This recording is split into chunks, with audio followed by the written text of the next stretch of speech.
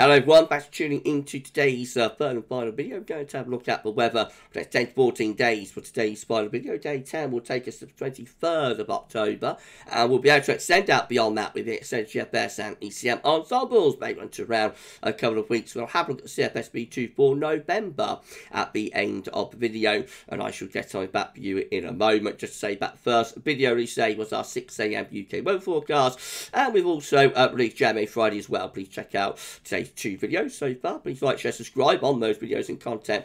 And thank you so much, everybody, for uh, doing that for Gavs Weather Vids. Right, we're going to start off in the Tropical Atlantic, as usual. So we've got Tropical Storm Sean still going on here. He's back to Tropical Storm, was Tropical Depression yesterday wasn't predicted to become a tropical storm, um, but has powered up back back up to tropical storm status, giving maximum sustained winds of 45 miles per hour with a minimum set pressure of 1,004 millibars. Clicking on Sean, we can see this tropical storm will continue into the weekend, um, and then later in the weekend to the beginning of next week goes post-tropical, becomes post-tropical depression then.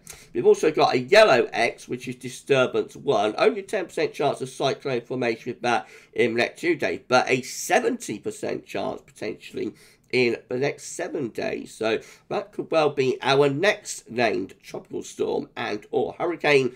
And uh, obviously we'll keep you updated about that as we go uh, into the weekend and next week as well. Uh, right, Central England temperature is beginning its tick down, so we're now sitting at 15.1, which is 4.5 degrees above the 61 average. That's visuals yesterday to the 12th of uh, October. That will probably tick up again tomorrow. It's very warm out there this afternoon, but it's a one day only offer, and we're in a warm sector right now as the low pressure pushes through later on in the afternoon into the evening. Cooler, colder air will start to come in from the northwest over the weekend and into the early part of next week. Things will be cooling down, uh, and the CET will then the drop of CET will uh, start gathering pace. But uh, we've got a day off from that today. Are the GFS upper air temperature and precipitation ensembles for the next couple of weeks. We're London today. The red line is the 30 year upper air temperature average for London, starting off above average up above. But the upper air temperatures will be going cooler to colder over the weekend to the beginning of next week. And then the upper air temperatures will start to lift up um, through the course of next week before hovering quite close to average. So we've got warmer ensemble members up here, we've got cooler, colder ensemble members down here. So a lot of scatter then as we go from the third week to the final week uh, of October. But no sign really of a return to the warmth that we've had through the course of this autumn. The white line, which if you ensemble mean, it's actually a little bit underneath the red line, actually a little bit below average. So looking relatively cool, I think, as we go through the final uh, week to 10 days of October. Precipitation wise, so uh, lots of wet weather clearing it out to the way uh, today. Then we're going to be going drier over the next few days before we pick the precipitation back up again through uh, next week. So possibly turning wetter again later next week. And those unsettled conditions then lasting to the final week of October potentially. Temperature anomalies from the 13th, 21st of October going to be below average in many areas, a little bit above average down in the south. And precipitation anomalies from the 13th, 21st of October, driving average in the northern half of the country and uh, a little bit wetter than average for England and Wales. The latest wind flow map from Earth Nullschool.net shows there's an active weather front through here. Ahead of that, it's warm with winds coming in from the southwest. Behind it, though, turning cooler or colder with winds going into more of a northwesterly direction. As that low pressure pushes through, um, we're going to find most cooler colder northwesterly northerly winds descending down across the western side of Europe then. Right, let's start going through chart data. This is how the latest UK Met Euro run is looking for midnight on Monday. High pressure over top of the country. It's going to be quite a cold ridge. Will bring a lot of dry weather, but also some pretty cold nights with it. Uh, into Tuesday, Wednesday, a high pressure dominated weather, lots of dry weather, but pretty cold as well. And then into the second half of next week, the high pressure begins to retreat away to the northeast. Low pressure is down toward the Bay of Biscay. Winds coming up from a southerly southeast direction. That brings warmer air up from the southeast, but the low pressure around Biscay will start to uh, push wetter weather in from the uh, southwest into uh, southern and western parts of the country. Icon again showing the high pressure dominating weather on Monday, bringing lots of dry weather with that high pressure remains in control through to the middle of uh, next week. Then start to shift towards Scandinavia. We bring the wind in from a southerly to a southeasterly direction into the second half of uh, next week with low pressure to our southwest, high pressure over Scandinavia, winds coming in from the southeast. So technically that's bringing warm air, uh, warm up air temperatures in with both southeast winds. Down the surface, it might not necessarily feel all that warm, to be honest. And by the end of the icon run, gets us to midday on Friday next week. High pressure is aligning over Scandinavia uh, such, but we actually start bringing in a genuine easterly wind then. So starting to look colder as those winds turn into uh, the east potentially by the uh, by the following weekend uh, which will be the 21st to the 22nd of October. But GFS midnight run, again, that area of high pressure dominating the weather on Monday, Tuesday, Wednesday, all seeing that high pressure in control. Winds gradually shifting into a southeasterly direction, so starting to turn a little bit milder. Remember, low pressure coming up from the southwest brings some outbreaks of rain with it. Through to the end of next week, low pressure to the south, high pressure over Scandinavia. Winds coming in from an east or southeasterly direction, so wet to the south and west, drier further northeast. Winds from a southeasterly point. Um, should lift the temperature up to some degree, but might feel a bit cold and dank, I think, with those southeasterly winds. And then beyond that, we take the low pressure way to the east. We start to bring in some cooler air from uh, the northwest before high pressure re-establishes over the country as we come into the closing days of uh, October. And then low pressure back in again. So a real seesaw there in the last week of October between uh, low pressure and high pressure between drier and wetter conditions. But GFS6Z, once more with that area of high pressure in control through Monday to Tuesday. Wednesday, the high pressure retreats away to the northeast. Low pressure starts coming up from the southwest, so turning wetter in the south and west, but with those southeasterly winds, um, you know, probably bring some milder air in as well. Uh, towards day 10, high pressure tried to take over across Scandinavia, but never quite doing so. So this potentially is quite a wet pattern for the south, with low pressure centered to the south, um, high pressure to our uh, sort of northeast, uh, keeps the wind in from that southeasterly direction up towards day 10. Beyond day 10, a deepening area of low pressure around Biscay threatening more rain on the south, um, or to the south, and uh, uh northern regions dominated by high pressure. We end up under uh, some sort of uh, flabby ridge there potentially we see quite a wet pattern down across southern parts of the country. It's not a particularly wet pattern though further north and northeast. If you're enjoying the video, please can you like, share and subscribe. Thank you so much everybody for doing that. Why not drop a comment and let us know what you think about this and all of our videos. And don't forget to tell friends about Gavs Weather Vids. We thank you so much everybody for uh, doing that. We passed 17,000 subscribers. We're going to have a little bit of a celebration on Sunday's live stream. And uh, then after that, we are uh, going to be uh, on the grind to 18k, I think. Uh, thank you so much, everybody. Uh, right, GEM again with your high pressure in control of weather on Monday, bringing a lot of dry uh, weather with it. That's a chilly ridge bow.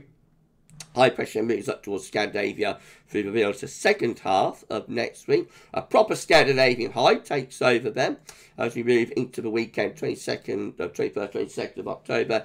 Easterly winds and uh, that brings chilly, quite cold air in from the east. There could be some um, rain uh, for southern and east parts, actually cold rain with both east to northeasterly winds. Now, big outboard model output, but GEM is probably the best with that easterly, other than Icon, which does look pretty decent for a proper easterly by uh, by um, the weekend of 21st, 22nd of October. And then the ECM uh, rounds all off again under high pressure on Monday, bringing it a lot dry uh, but quite chilly weather with it. Early part of next week, high pressure begins to move more towards the north of the north brings pull the wind in from more of a southeasterly direction into the middle to second half of next week. High pressure Scandinavia, low pressure down towards Biscay, southerly, southeasterly winds. They can have uh, children, they can bring a lot dank uh, damp, cloudy weather with those uh, southeasterly winds. Eventually, though, uh, we find that uh, the low pressure to southwest start to threaten wet weather into southern, southwestern parts of the country. Just never quite set up that Scandinavian high uh, to an alignment that brings in a genuine uh, easterly wind. So it's more like of a southeasterly type damp, dank uh, wind that we've got going on. uh, with that rather than a genuine easterly. This precipitation forecast based on the ECM run from Meteo.com. More rain coming southwards and eastwards through the course of uh, this afternoon. And once that gets out of the way, then we open the door to those cooler to colder northwesterly winds, wintry showers into the northern half of the country as well. Beyond that, a lot of uh, dry weather over the weekend and into uh the early part of next week before wet weather starts coming up from the southwest later next week for the middle part of the week. So turn wet for Ireland, England, and Wales, but Scotland is in a drier scenario. And then further showery bursts really as we head on towards um, day 10. Now you'll notice that um, we start bringing showers in from the east here on those southeasterly winds around the 22nd, 23rd of October, you will notice some green splodges in there. So despite the wind being southeast, it certainly isn't overly warm with that southeasterly wind. And, um, yeah, over Pennine, Scottish Mountains, just possession of a few um, snow flurries. Won't be anything significant, but I reckon it'll be it'll be a cold, damp sort of uh, southeasterly what you have there. You know, uh, a very dank, damp, cold cold, raw type um, scenario. Uh, this, uh, these are options on the table within the ECM Ensemble today for data. That's 23rd of October. 17 members of the ECM Ensembles with a proper Scandinavian high to our north east, low pressure to our south, and winds coming in from an easterly direction.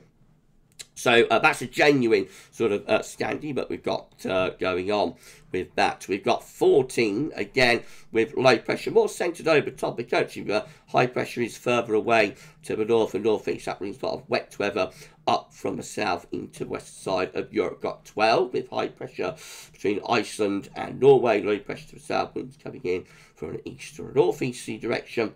So wettest in the south, in the north, quite chilly. And then we've got 80 climate control of the operation run again. High pressure to the north, low pressure to south winds coming in from an easterly uh, direction with that once again. In two weeks' time, these are the options that we got. Gets 28th of October, 16 members of the ECM ensembles with high pressure blocking to the north, low pressure to south southwest. That brings the wettest weather into the south, dries up in the north. 13 again, high pressure towards Scandinavia, low pressure over France, winds coming in from the east, wettest weather with that is in the south. Um, Winds are from the east. They won't be especially cold, but certainly damp, sort of chilly, dank feel. Eight with low pressure over top of the country. That uh, bringing very unsettled weather. Six with a ridge from the southwest to the northeast. Mostly dry with that, but winds coming in from an east or northeasterly uh, direction.